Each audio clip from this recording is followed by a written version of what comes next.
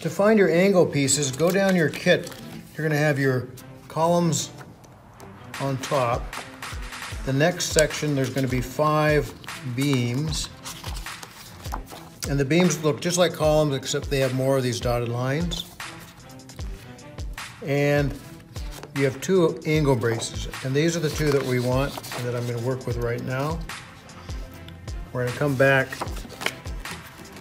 to the magazine, and we're gonna score these. This is gonna make two long ones and two short ones. So I like to score everything first, and then I'm gonna cut them apart for the angle pieces.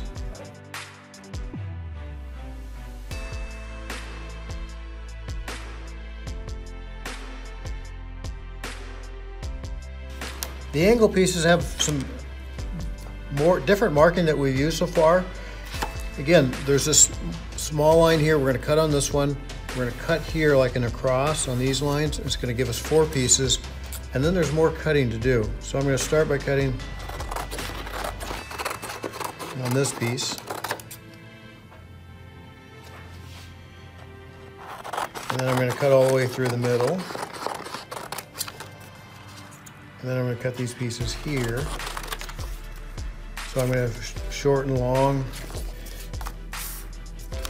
Now these pieces have some solid lines here, solid lines we cut on. So we're gonna cut these two short pieces, these two short pieces. And that's gonna allow us to do some folding in a little bit.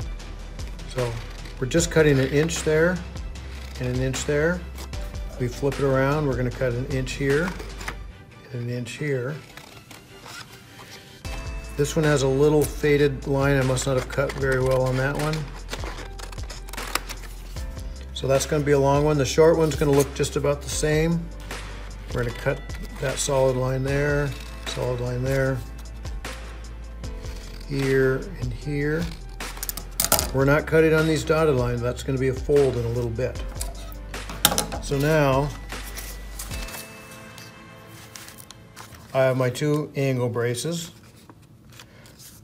We're gonna fold them in, like we did in the column. They're shorter, they fold pretty easily.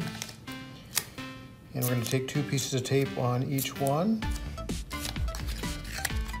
Tape this together so it's a nice rectangle shape.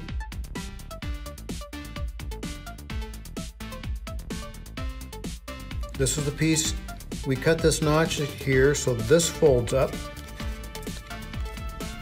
like that and a 90 degree fold. That folds up, this folds down.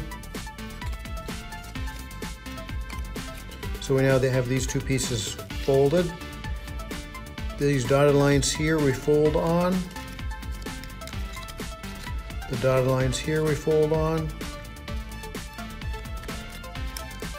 So fold, fold, fold, fold. That these are the bottom, and so they're gonna go like this.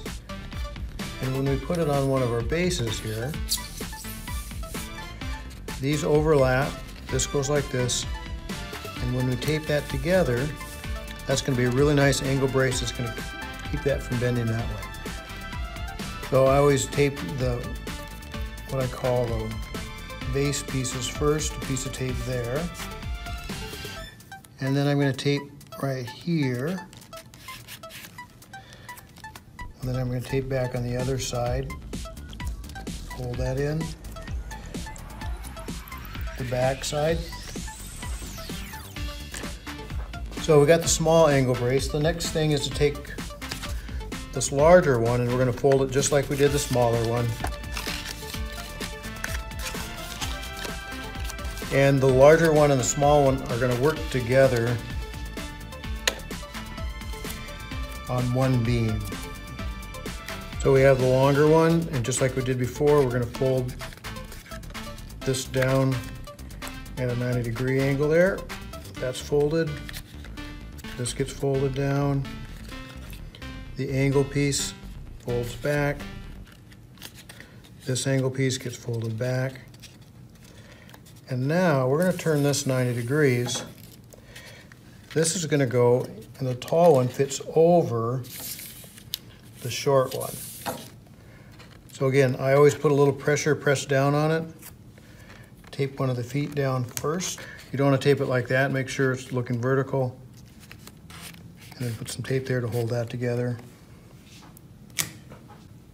So you should put a long one and a short one on each side, all four. That's gonna make this really sturdy.